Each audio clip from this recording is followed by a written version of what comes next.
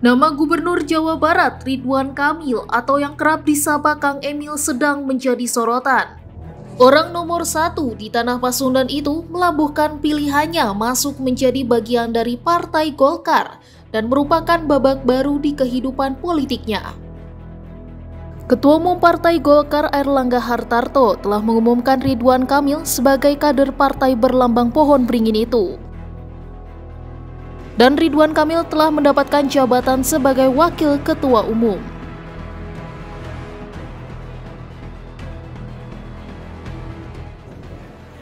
Pertemuan sore hari ini ini menjadi istimewa karena secara resmi Pak Ridwan Kamil masuk ke Partai Golkar. Dan masuknya Pak Ridwan Kamil ke Partai Golkar ini ditandai dengan tadi sudah diberikan kartu tanda anggota dan Pak Ridwan Kamil sudah menggunakan jas kuning dan kelihatan Pak Ridwan Kamil kelihatan semakin ganteng dan semakin cerah.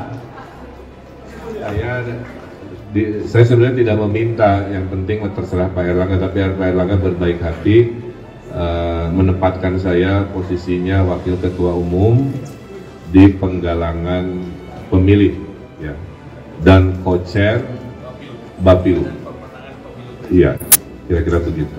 Dan saya fatsun ya terhadap keputusan organisasi, maka ke mana-mana keputusan uh, partai terkait Pak Erlangga sebagai capres pun uh, itu akan saya narasikan di mana-mana. Saya kira. Selama mengikuti kontestasi politik selama ini, Emil tak pernah ingin bergabung ke partai pengusungnya. Pertama, kala dirinya mengikuti perhelatan pemilihan wali kota Bandung pada 2013, ia diusung oleh Partai Gerindra untuk berpasangan dengan Odet Muhammad Daniel yang merupakan politikus PKS.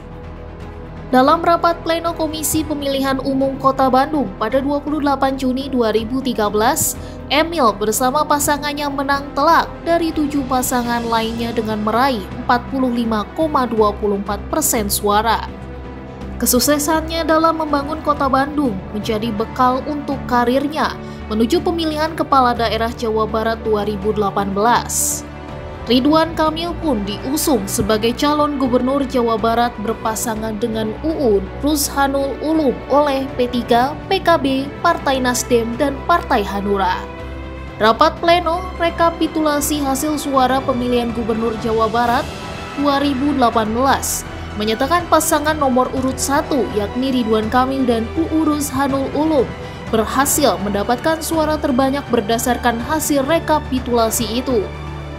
Pasangan Ridwan UU mendapatkan 7 juta lebih suara atau unggul dengan torehan 32,88 persen.